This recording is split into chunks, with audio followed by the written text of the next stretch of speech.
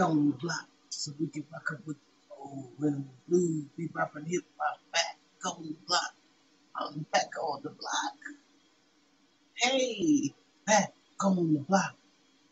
But we can hit them with the soul, rhythm and blues, bebop and hip hop. Back on the block. Uh, back on the block.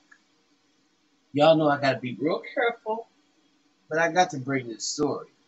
So in the meantime, in between time, Grand Rising family, how are you all?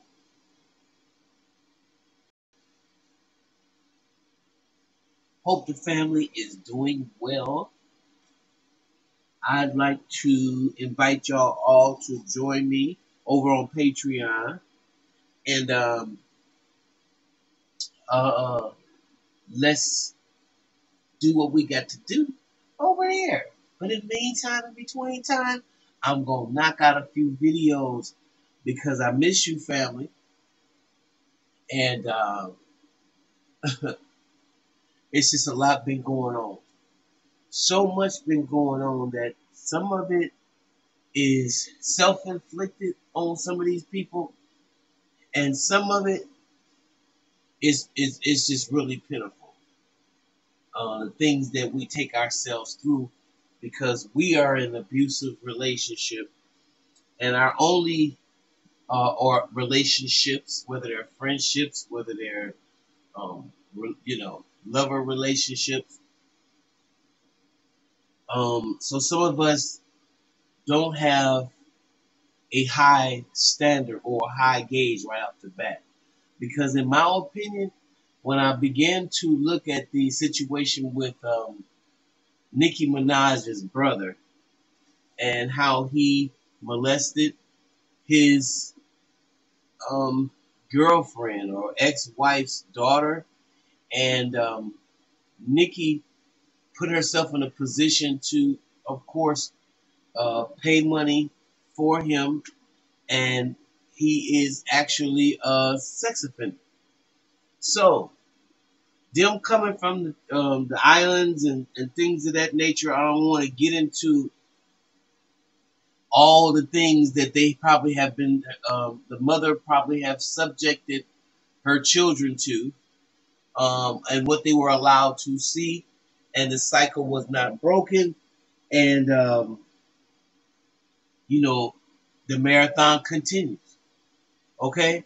Because this story right here is probably one of the most pathetic stories of someone letting uh, a, a loved one bring them down to the lower levels of life.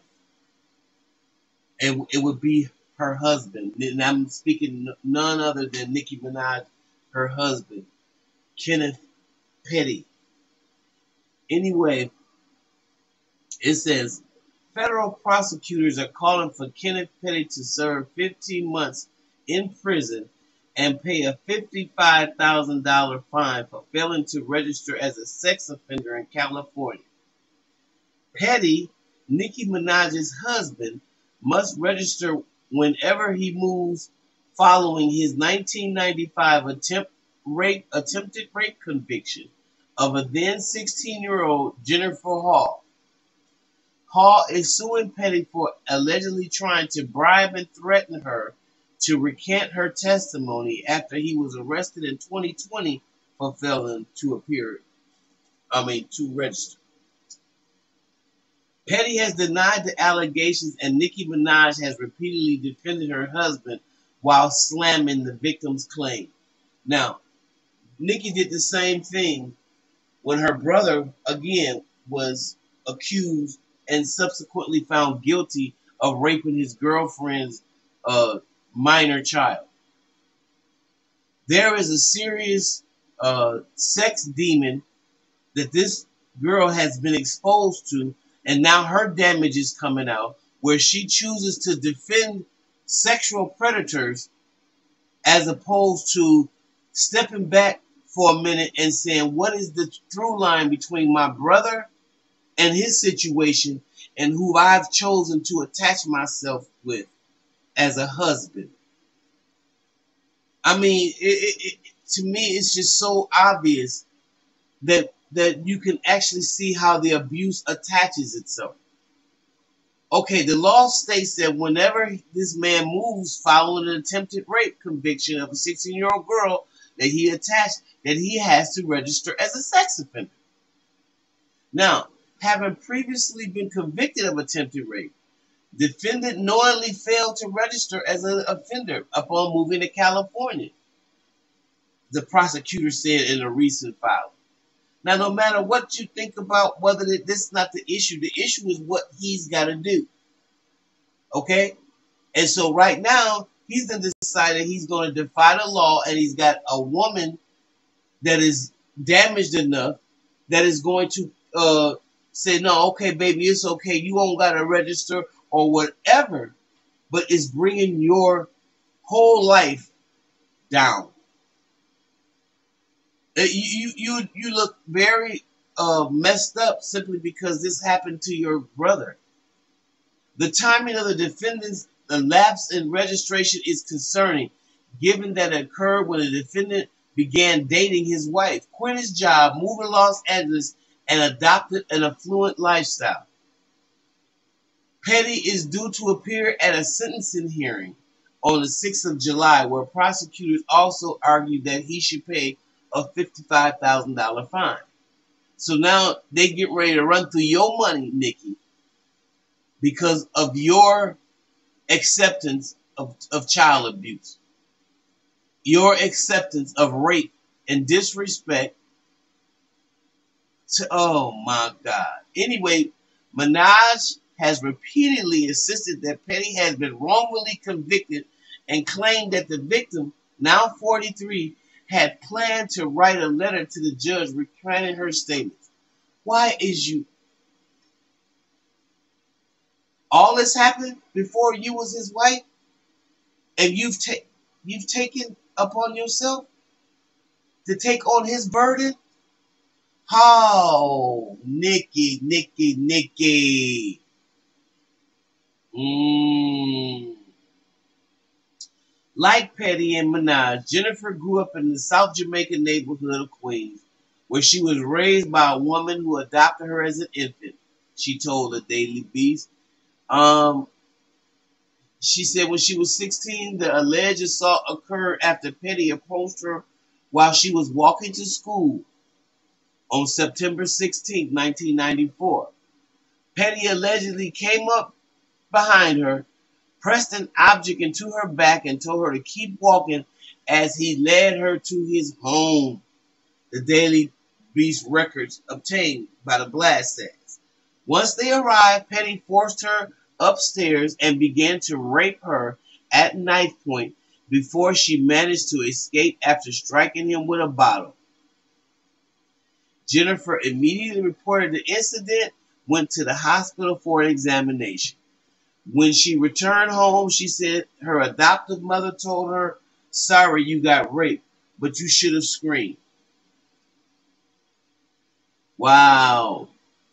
Petty denied Jennifer allegations when he was arrested, telling the investigators, I didn't do anything. His parents told Jennifer's mother that the teens were dating. She said even though she insists that they weren't. But this is just all bad. All bad. I think I was always felt just like people wanted me to be a liar, she told the Beast. Petty was ultimately convicted in 1995 on four counts first degree attempted rape in the first degree, second degree assault, second degree unlawful imprisonment, and criminal possession of a weapon. He was sentenced to four years in prison in order to register as a sex offender for the rest of his life. And now he out here spending Nicki's, Nicki's money, wearing Timberlands, flash money, got all the glitter of a monkey. And Nicki, oh, ain't nothing queen about you, honey. You are a broken woman. And anybody that know what brokenness look like, you should be a poster child. To get with this guy who is already a Okay, y'all, I'm gonna let it go because you know she reported started dating this guy after he got out of prison when he was 21 and she was 16. He landed back behind bars in 2006 after pleading guilty to manslaughter in the shooting death of Lamont Robinson. He was sentenced to 10 years in prison and served seven before being released. In 2019, he married Minaj. The couple moved to California. They had a child together the, the next year. So over the course of two decades, he was repeatedly warned that if he moved to another state, it would be his responsibility to follow any local, city, federal, international laws regarding the registration. But he decided he don't want to do it. And so um he ain't gonna do it.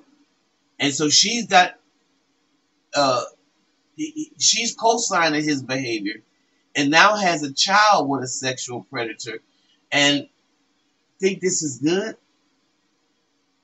Okay, maybe it's me. Y'all let me know what y'all think, cause I, I you know, maybe it's me. Maybe I'm too old fashioned. But I need to know what y'all think about this whole craziness. All right? All right, I'll see you in the next video.